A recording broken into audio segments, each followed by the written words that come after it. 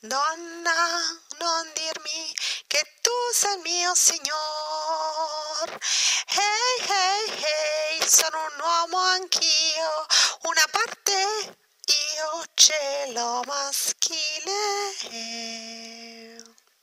Ma sono una donna, anche gli animali, sullo stesso piano degli